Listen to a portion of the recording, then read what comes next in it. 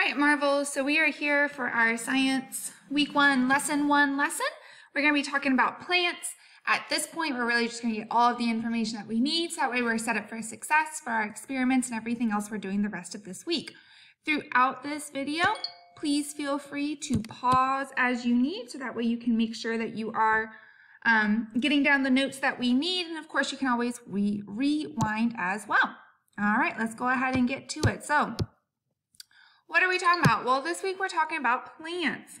Plants are two, um, two things come to mind, right? We think about like these more flowering plants, like what we might see in the woods or in somebody's garden. But plants are also the vegetables and the fruits that we eat. It's the grains that we eat in our bread, right? So plants are super important. What are plants exactly though? We know what a plant is when we see it, but what is it? So as you have probably seen with your notes, you have this right here so you need to be writing this, okay? These are the actual notes that you're taking and you're just filling it in.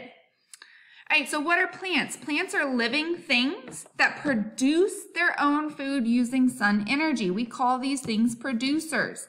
The main important things about plants, they are living and they produce their own food using energy from the sun. Again, feel free to pause to make sure that you have a chance to get this down. There's quite a few different parts of plants that we're going to be looking at, okay? So let's go ahead and start with that. So parts of a plant, again, this is within your notes. You're just writing the definition. What are the roots? Well, roots anchor the plant, right? Roots, this is what we have down here. You do not need to draw the picture. You just need to write the definition. So roots anchor that plant. They anchor the plant within the soil to make sure that it doesn't blow away. They're also absorbing water and nutrients. That's how that plant is getting the water and nutrients that it needs to survive. From the roots, we then get, oop, I went one too far. From the roots, we then go to the stem, right? The stem supports the plant, again, making sure it's not just falling down. And then it transports that water and nutrients. Those water and nutrients come in through the roots and then they go up through the stem. They then are able to go into the leaves. The leaves make food for the plant. We're going to be talking a little bit more about that. And they get rid of waste. What waste are we talking about? Well, we are talking about water and oxygen, right? Plants give off oxygen. That's their waste product. And then we breathe it in along with some other living things.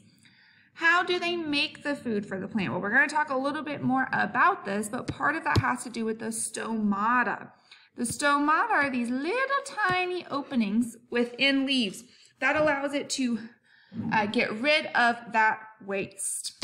All right, then we have flowers, right? So flowers, the main um, reason for them, I mean, they do look pretty, right? But it's because they produce pollen for reproduction. Yeah, pollen which not many people like. A lot of times it makes people sneeze.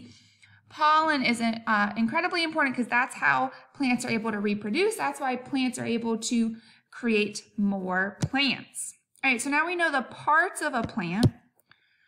How do they make all this food? Well, the way that they make all of this food is through photosynthesis. Again, you're writing down this definition.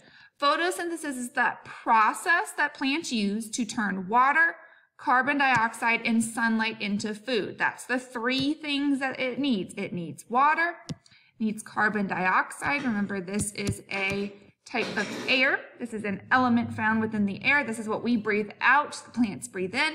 And it also needs that sunlight because that is where it is getting the energy from. If you'd like to add to your notes, during uh, when they make this food, the food is actually glucose. Another word for glucose is sugar. So essentially, that is what the plant's food is. All right, just a little bit more.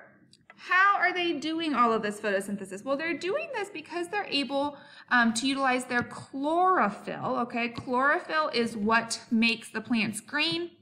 It's found within chloroplasts. These are within the leaves and it collects the energy from the sun.